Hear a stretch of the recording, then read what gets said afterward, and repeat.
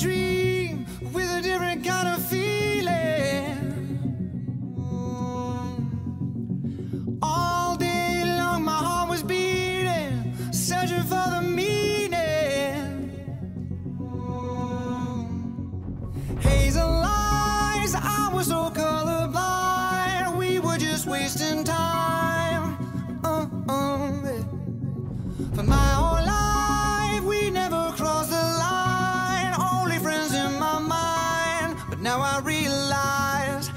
was always you. Can't believe I could not see it all this time. All this time. It was always you. Now I know why my heart wasn't satisfied.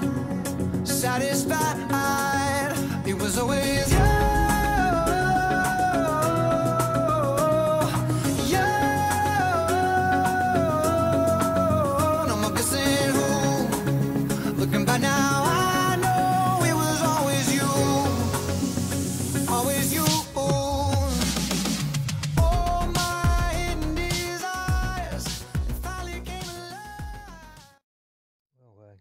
And uh, one of the most beautiful, uh, peaceful, colourful spots in Australia, uh, Docker River, about uh, 20 k's out uh, from Docker River. It's just spectacular here. It's always been a favourite spot of mine.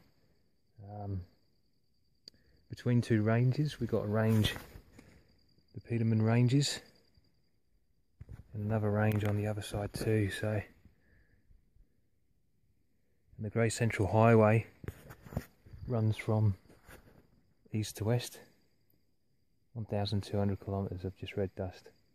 And the colours today, leaving uh, the Olgas, um, there's a turn in there for Western Australian border, and we're from that, that point probably 181 kilometres and about 150 metres off the road, off uh, on the left hand side of the road. I'm just looking west now to uh, to where we're going, Steep Point. It's about four days away. Um, we're down to 10 riders.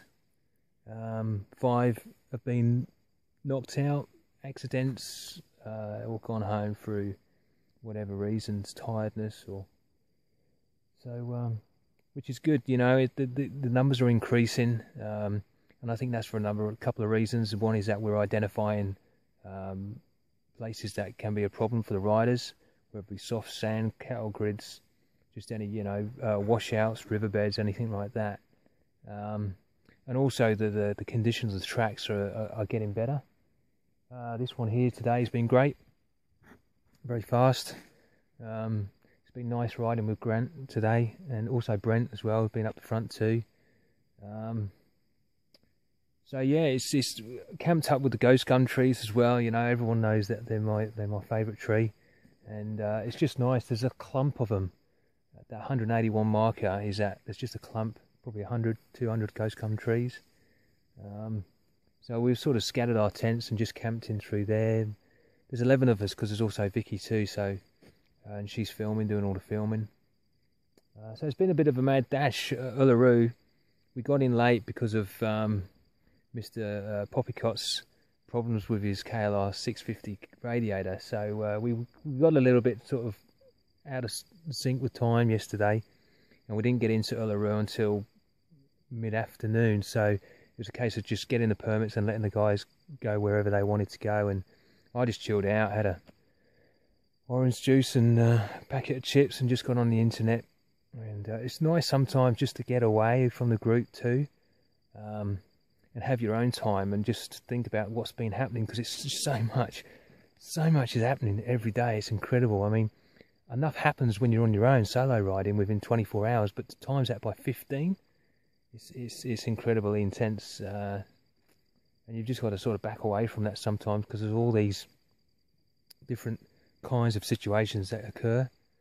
Um, but I think you know, on the whole, we've got 10 riders to to Gibson Desert, so you know, and the boys have just sat down, had a an awesome meal. Christian's just uh, cooked up a, a great meal, and um, how's this? You know, what a sunset. You know, I'd love to climb. Might next year if we get in a little bit earlier. We got in about three, three thirty. Um, I'll talk a little bit about donations too before this light goes because I've got a good kilometre to get back to camp. I don't have a torch and it's uh, pretty thick, dense forest up there. So uh, donations are about sixty-five thousand to date, um, which is just unbelievable. You know, crikey, could you ever imagine? You know, so you know, and I was sort of talking to the guys today, and we're just sort of talking about all the things that we've experienced and shared one with another.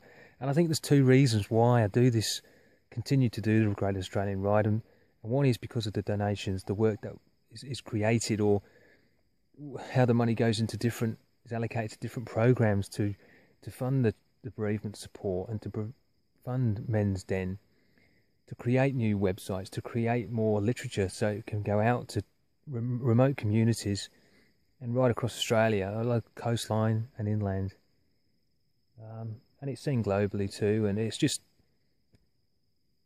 a real feel good feeling to be able to do that, you know. And, and to the date, four years, we've never asked for a cent back, you know, which is we're very proud of that. And the, the Great Australian Ride, although it runs on an oily rag, is that we are sustainable and we do get the job done each year, and there's still a little bit of money over there to pump back into it and get whatever equipment we need, you know. So it's it is working, but it does it does stretch the the boundaries in every every and and and, and so that's that's the first reason. The second reason is because you're sharing these moments with the other guys. You know, there's just golden moments that you just cannot be taken away.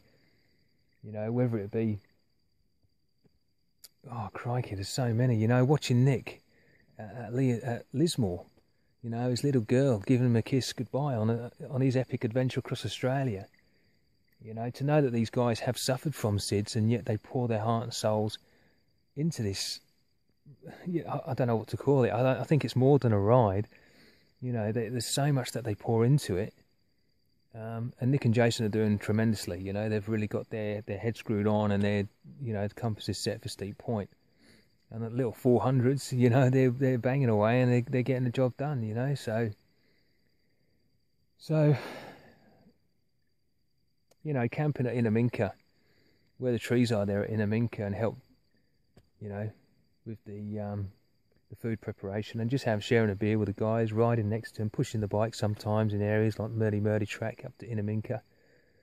It's it's just those moments, you know. Bradley Jackson his sense of humour, working with the miners, just some of the one-liners, and going to the casino.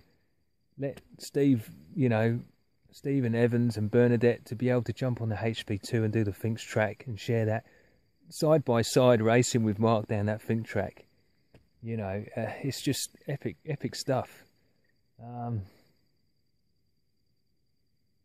and although we, we do clash and there's there's ups and downs, you know, it, the smiles come back, and it's like tonight camping. It's just, it's when we get into the city areas, I think that's when little niggly stuff tends to happen. And then when we get back out in the bush and we know that we've got to fend for ourselves, it draws the team closer, you know. So, and that's what we're here for. You know, we're here for to do miles on the bikes, and um, enjoy each other's company in the evening with a beer and stuff like that. But it's nice just sometimes just to have a cup of tea, you know, cup of tea and just have a bit of a chat early night. Look at that sunset, you know. You know, a million miles from anywhere, you know, not even halfway across the Gibson Desert, the Great Central Highway. And you sort of think to yourself, you know, the Aboriginals have got the best land. You know, Docker River's just 20 k's up the road. Imagine waking up to this every morning. I'd have if I could, I'd just bring a little wooden hut. Probably have the deck pointing out way this way. Table, chair. You know. That's me. That's me. I like that. I don't want to be surrounded by crowds and all this sort of shit. You know, and those trees. I'd have a house here in the open, in the savannah. Another one this would be one, one A and one B. Another one over in between the ghost gum trees. You know, you could have three days here, four days over there. You know? Anyhow, on that note, better. But we're going to climb this one day, this mountain here, if we get here early enough. I think it's a good um, four hour return trip. It'd be good to see uh, awesome views and you know to see the roads and this train you know just to be up there and see road trains come bearing down that great central highway and the red dust you know. Put it on your bucket list. Come out and do the the great central highway. It's good fun. All right happy travels. Take care. See ya